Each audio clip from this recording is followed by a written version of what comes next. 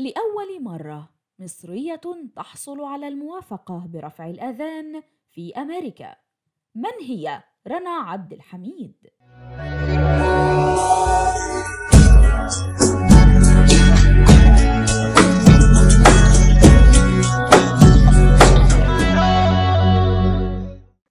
ردود فعل مؤيدة ورافضة بعد أن نشرت منى البغدادي والدة رنا عبد الحميد الشابة المصرية التي حصلت على موافقة برفع الآذان للصلوات الخمس بمدينة أستوريا بولاية أوريغون الأمريكية.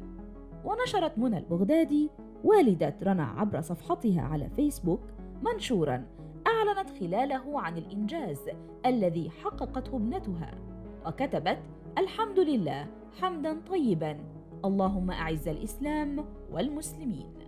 بعد 31 سنة في أمريكا أتمنى أسمع صوت الأذان في الشارع. رنا اليوم استلمت الإذن بالأذان بمكبرات الصوت في المساجد لأول مرة في أستوريا خلال شهر رمضان. وتابعت طبعا مش هي اللي هتأذن بصوتها بالتأكيد اللي هيأذن هو مؤذن المسجد. وشاركت البغدادي فيديو آخر أوضحت خلاله كواليس تنفيذ القرار ورفع الأذان في مساجد المدينة.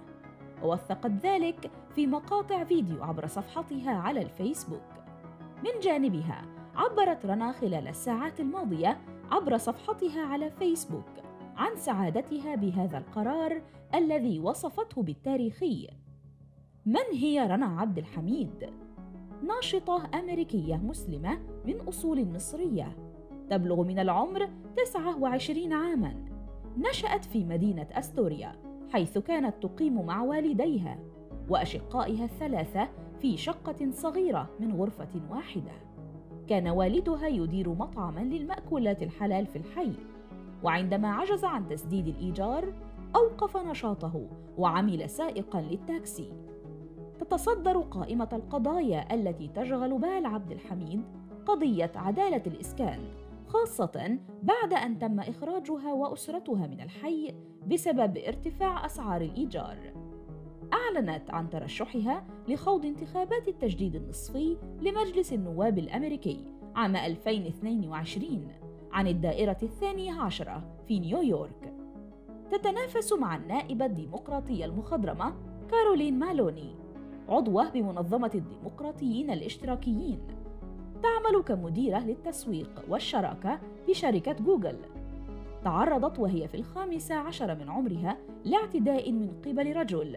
حاول نزع غطاء رأسها مما جعلها تشعر بالخوف والحيرة والعجز. إلا أن الحادث جعلها أكثر إصرارا على الدفاع عن حقوق المهمشين والمستضعفين. ومن ثم أصبحت ناشطة في مجال الدفاع عن حقوق المرأة المسلمة. أسست مؤسسة غير هادفة للربح لتعليم الفتيات الدفاع عن النفس ومواجهة العنف المبني على الكراهية. تمارس رياضة الكاراتيه منذ الصغر وحاصلة على الحزام الأسود.